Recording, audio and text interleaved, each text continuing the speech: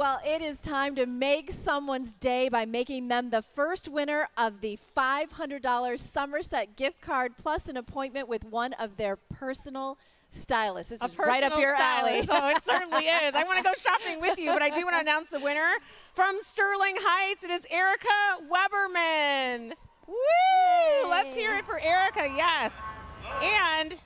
If you didn't win this time around your name isn't Erika and you didn't get the $500 Somerset Collection gift card, not to worry. Next, you have double the chances of winning a $500 gift card. And the same deal, you get the personal shopper as well from Somerset Collection. So we're going to be announcing two winners the next time around.